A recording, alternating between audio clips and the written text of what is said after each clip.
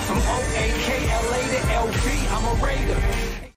Raider Nation, what's going on? Happy Monday, and today's show is presented by Panda Supps. If you're trying to bulk up like Tanner Muse, then go to pandasupps.com, use code Raider Nation, where you can save 40% off on the best workout supplements, and I continue to recommend the protein. It's absolutely incredible. So, what's coming up here on today's show? We're going to be breaking down some rumors around Orlando Brown. What are the likely chances of him becoming a Las Vegas Raider? There's a report out there on some mutual interest with Melvin Ingram. I'm going to give you my two cents on that. And at the very end of today's show, we're going to talk about Tanner Muse. And as I'm sitting here, we also got a little bit of an update. So, even more information at the end of the show. So, before we get into all the information, Seriously, go ahead and hit that big red button that says subscribe because guess what? If the Raiders go out and trade for Orlando Brown Jr., we're going to be making a video. If they go out and sign Melvin Ingram, we're going to go ahead and make the video. If you're looking for non-stop coverage around the Raiders for this large price of $0 and 0 cents for the next 365 days,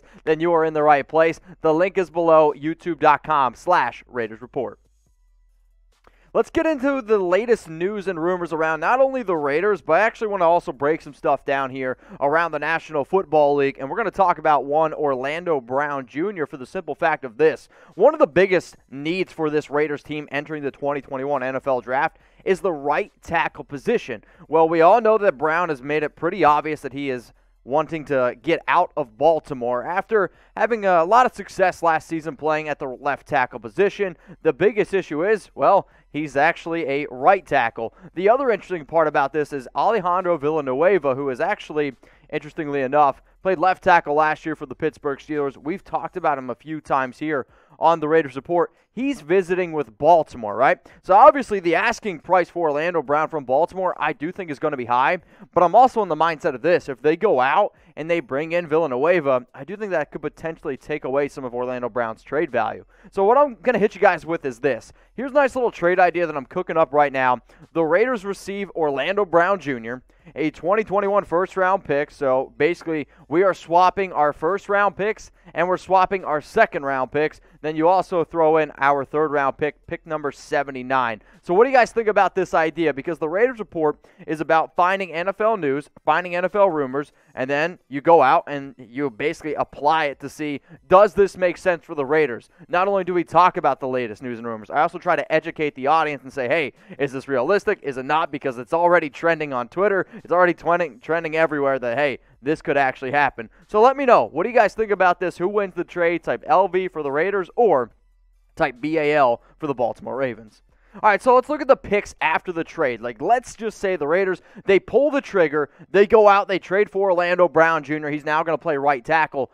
The reason why I actually think that the deal that I just showed you is pretty good for the Raiders is because you don't really lose any picks in any round. Sure, you move down to pick 27. Sure, you move down to pick 58 but you can still address a lot of your big time team needs with the picks that you have remaining. So, right now, as it stands, the Raiders' offensive line depth chart is this. You could also throw in Denzelle Good at right tackle. John Simpson could easily start there at right guard.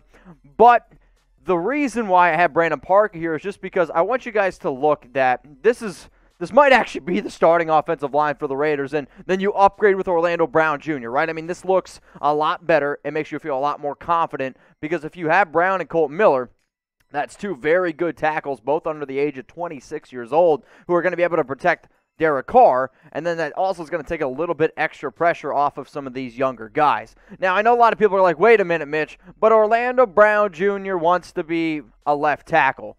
You're, you're right. You know, he does actually want to be a left tackle. But I'm also going to say this. I actually don't know if that's 100% true. Orlando Brown Jr., here's the key word, wants to be paid like a left tackle. Like, I think any player out there, the reason why Brown wants to play left tackle is because left tackles, they make more money traditionally than the right tackle because you're protecting the quarterback's blind side. I hate to break to Orlando Brown Jr. He's not playing left tackle for the Las Vegas Raiders. That's going to be Colt Miller's job. But for everyone out there, is like, you know what, Mitch, that trade idea you showed that was good. And I agree. I actually think the trade idea that I showed was a very good deal for the Raiders. I actually think it might cost more if they try to make the move.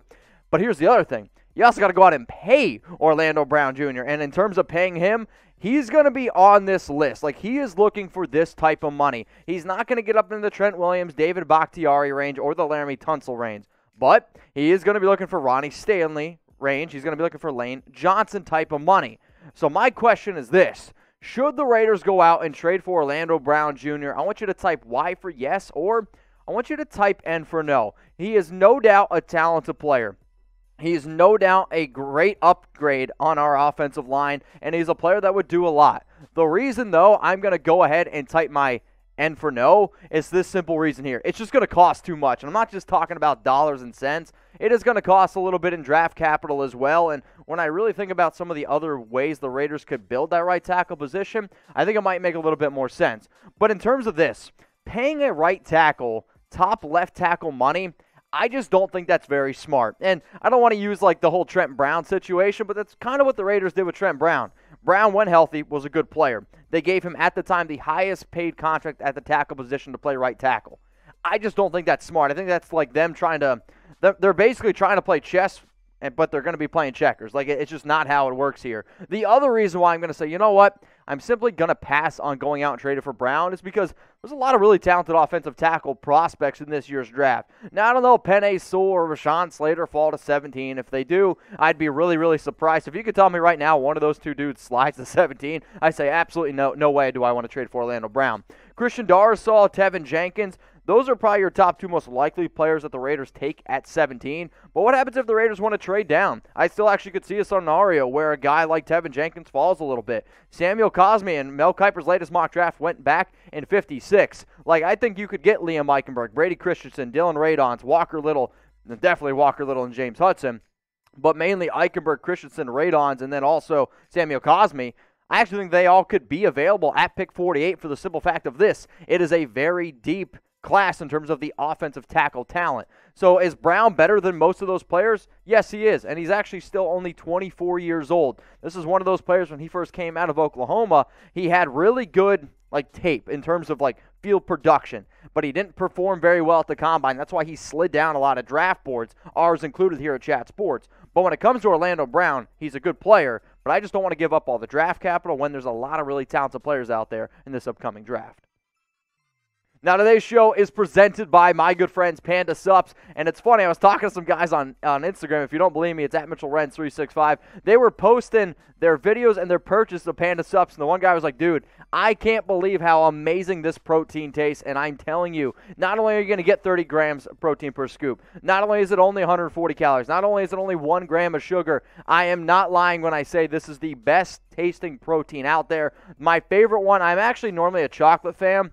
The fruity cereal one, it's just it's wild. Like it literally tastes like the milk on the bottom of a bowl after some fruity pebbles. Like it, it's actually insane. You eat it and you're like, wait a minute, this is a, this is healthy. Yes, it's actually very healthy for you. Some of the best protein I've ever had. You can have it as a late night snack. You can have it after a workout. Bottom line is this: if you go to PandaSupps.com and use code Raider Nation, we're gonna be hooking you up here. So usually this is forty nine dollars and ninety nine cents.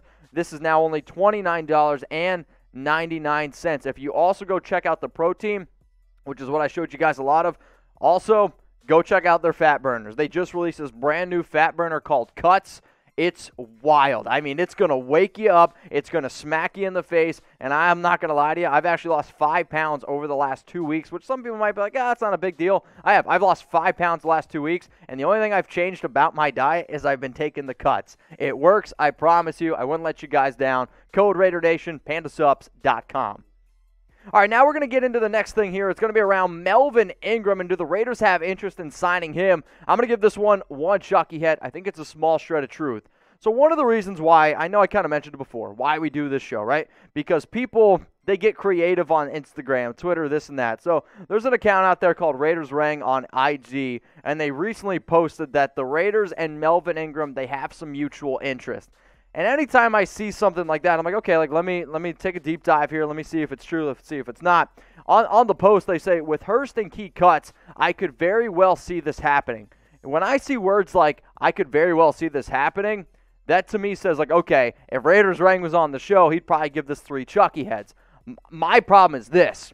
It, the only way that it's likely going to happen is if Melvin Ingram takes a very, very type of cheap deal. I personally don't see that happening. Now, I understand the idea of them going out and maybe trying to upgrade the defensive line, right? Because you have Yannick, you have Maxx Crosby, those are solid players. And sure, not having Arden Key, that hurts your depth a little bit. Not having Mo and if we're being honest, I'm not really still sure why they decided to move on from him. But sure, you, you could potentially look at adding a little bit more talent here and there. And Melvin Ingram, he would be able to do that. But here's some of the issues. Money, right? I mean, money's a big problem. Right now, the Raiders' salary cap, when I look at the numbers, it's like $6.22 million. That's that's an okay amount of money, right? You're like, oh, Melvin Ingram could sign a one-year deal for 6.22. Sure. But then you also got to remember this, y'all. The Raiders 2021 rookie cost, it's going to be about 8.53 million. The reason why the, this is the number, it's because remember, it's a projected cost. First round picks make what first round picks make. Second, third, like it goes down the list. You can find this number on Spotrac if you don't believe me. The reasons why, though, I do think, like, let's just say signing Melvin Ingram would make some sense. He's a solid player when healthy. Nobody's going to come on any show. Nobody's going to debate that. When Melvin Ingram is healthy, he is a damn good football player. He also knows the Gus Bradley system very well. One of the reasons why I loved Vontaze Burfict, which, yeah, you can disagree with me or not, he knew what Paul Guenther's system was, and he was a player coach. That's what Melvin Ingram would be able to do.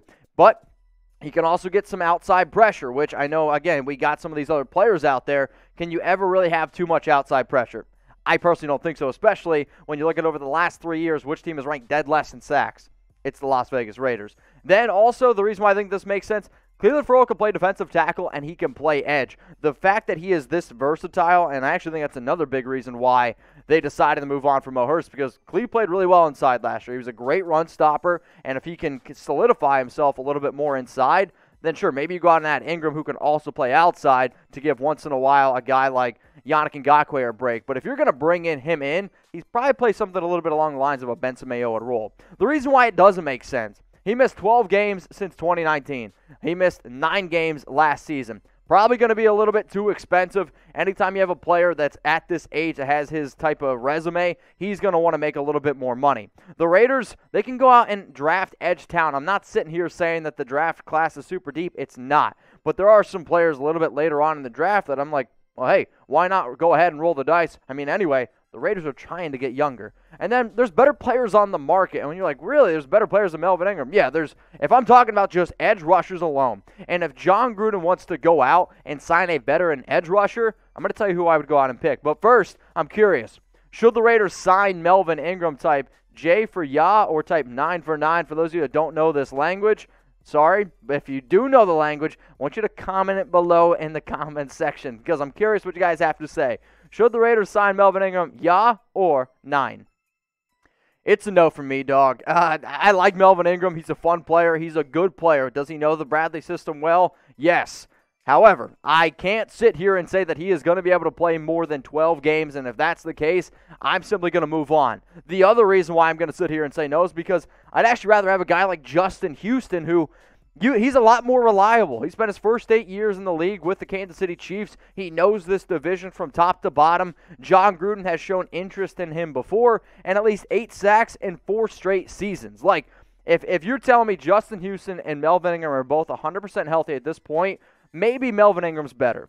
But in terms of what the Raiders are potentially looking for at this point in the offseason, I want a reliable veteran pass rusher. And let's just be real, Justin Houston is a lot more reliable than Melvin Ingram. Let's look at their 2020 stats here. Advantage, Houston, and it's really not even close. I mean, tackles for loss, quarterback hits, sacks. I mean, I don't need to sit here and tell you that Justin Houston obviously had a much better year than Melvin Ingram. But even when Ingram was able to play, he was slow. He looked a little bit out of shape, and the injuries, man, they they did really start to slow him down. I mean, seven games, ten tackles, no sacks. But what about the past two seasons now, right? Because Melvin Ingram, he's a little bit healthier in 2019. So let's look at both of the past two seasons. So in games, Houston again, 32 to 20. Tackles, okay, Melvin Ingram caught up to him a little bit here. Tackles for loss, I mean, you're sitting here saying, all right, that's Houston advantage. Quarterback hits, Houston advantage. And then sacks, still. But what about their entire career? Because realistically, the games aren't too much different, and they're only one year apart in terms of age, but Houston's just been able to play in more games. And, and this is, again, not really close. It's advantage Justin Houston. I like Melvin Ingram. I get the Gus Bradley connection. All I'm simply saying is this, y'all. If you want a veteran pass rusher, because that's why you go out and bring Ingram, simply say this. I really think Justin Houston is worth more money. He's a lot more safer, and he would help our football team more in 2021. Now, if you guys are looking for more things going on around the Las Vegas Raiders, you can always hit me up on IG. I'm at Mitchell Renz365. I'm still breaking down some Raiders mock drafts. I've been telling people all week if you want me to grade your Raiders mock draft, give me a follow on IG and then DM it to me at Mitchell Renz365. Let's get into the latest here around Tanner Muse, and is he still playing linebacker? This one is for Chucky heads. Believe it, baby. So Vincent Bonsignore, he had an interview with Muse, kind of talked about how last year was being a rookie, how 2020 was, you know, with COVID and all that, and what basically Raider fans can expect going forward. So the biggest thing that I got out of this is Muse is still going to be playing linebacker. And I know a lot of us were sitting here like, well, is that going to make sense? Is he going to be able to do that? Because if you remember, Muse was drafted in round three, pick number 100 overall. The Raiders actually traded up for him, but he played safety at Clemson. The Raiders were trying to convert him to linebacker. But with the reports of him bulking up to 230 pounds, he missed last season with a toe injury. He's expected to be ready in a full return. Like, that's all great and dandy. But he really struggled last offseason. He really struggled to be able to pick up the playbook, and he really struggled trying to learn the linebacker position, which I understand. Muse is a good athlete at 6'2, 229 pounds at least. That's what he was chalked in at the very, very start of last season. Now, here's the thing, right? Like, the biggest story that Bonsignore was going on with is like, okay, Muse is preparing. He's trying to get bulked up. He's trying to get ready to be a true linebacker here, which he definitely is. My question is this Is he actually ever going to get on the field? That does still remain to be seen. But the Raiders' linebacking depth chart as it stands right now, you got Littleton, Kwiatkoski, and Nicholas Morrow. All your solid options. Javin White and Muse would kind of fit that sideline to sideline linebacker that a guy like Gus Bradley is definitely looking for. But are you going to put somebody out there on the football field that you don't have 100% confidence in? I, I don't know. So, how about this? What do you guys think? What is your confidence level on Tanner Muse as it stands right now. Scale from 0 to 100. 0 being you're not confident in them whatsoever, 100 being you're 100% confident in them. I mean, if we're being realistic, from everything I saw last offseason and all the reports that I saw, I'm probably sitting somewhere around a 40 or a 50, and it's going to be very, very telling if the Raiders go out and draft one of these top guys here. Because if you select Jeremiah Owusu-Koramoah, if you select Micah Parsons, Jamin Davis, Zaven Collins, I mean, I'm sorry, that's going to even put a guy like Muse even further down the depth chart here because it's not that he doesn't have the talent. He's a good player, but in my opinion, he is more of just this special teams war daddy, and that that's a good position to be. You need special teams players. He reminds me a lot of a guy like Erik Harris, where people sometimes disrespected Harris because he might not have been the best safety, but he was a damn good special teams player. And you know what? That is something that's very, very important. But when it comes down to it, the report of Bonsignore saying Muse is 230 pounds. All I'm saying is this: don't take that report and just say, "Oh, he's definitely going to play linebacker." I mean, Muse was 229 pounds. Is it really that much of a difference? All right, the last thing we're going to talk about here is the Raiders OTA news. The Raiders they begin phase one of OTAs today, right? Well, wait a minute, Mitch. Last week the players skipped or voted to skip the in-person phase of the program in favor of an all-virtual format. You are 100% right, but you know what? This might be some of the best news I heard today. Some players are still showing up to Henderson because they want to be able to play and practice. Anticipate a lot of the younger guys being the ones that show up, or a lot of players that might be really trying to get that workout bonus. But nonetheless, you got some young guys showing up, which is something that I'm really happy about. It's voluntary, and they don't have to do it, but they are deciding to do it. And if any of the players out there are watching the show and you're a little bit sore after showing up working out, remember, pandasupps.com, code Raider Nation to save 40%.